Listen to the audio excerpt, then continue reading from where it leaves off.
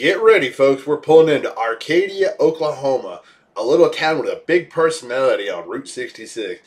This place ain't just a pit stop, it's a destination for those who appreciate quirky roadside attractions and a taste of history. You can't miss Pop 66, a soda pop paradise that has over 700 varieties of soda pop from all over the world. But what really catches your eye is that towering 66 foot tall soda bottle out front. At night, it lights up with a neon spectacle that'll make you feel like you stepped into a Route 66 postcard. This place was the inspiration for Flo's V8 Cafe in the Disney Pixar movie Cars. They even got the shape of the bottle just right. But that neon show at night is amazing. You will love it. Back in the 1800s, this place was a farming community, and the Arcadia Round Barn stands as a testament to that agricultural heritage.